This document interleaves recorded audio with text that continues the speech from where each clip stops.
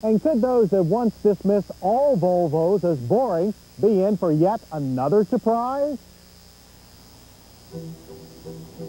They are if they give the new Volvo 960 more than just a cursory glance.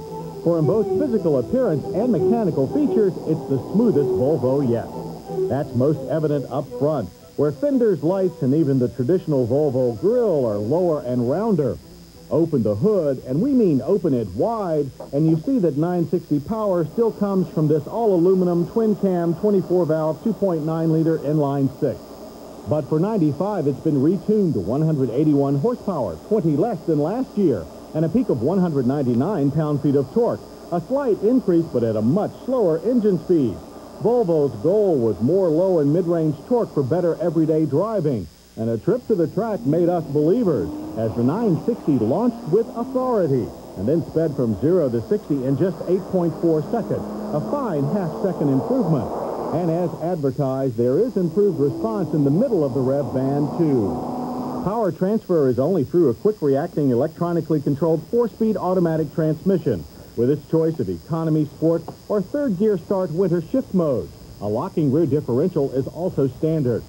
A major change takes place in the 960's front suspension, which now uses struts, coil springs, and geometry borrowed from Volvo's front drive 850.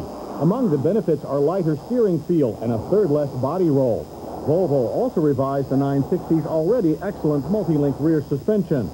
Volvo didn't neglect the 960's interior. It now has a more luxurious feel.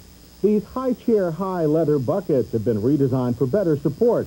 The driver faces a well laid out, its conservative cockpit, which includes ample use of burled walnut trim. Of course, dual airbags are standard along with seatbelt tensioners. The center armrest features, for the first time, cup holders for the front as well as for the rear, who also have ample room to enjoy their well-appointed surroundings. The seat back doesn't fold, but there is a ski-size pass-through to the large 16.6 cubic foot trunk. EPA fuel economy ratings are 17 city and 25 highway.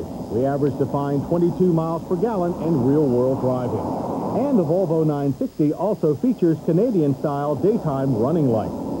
And Volvo priced the 960 to compete in the real world at $29,900.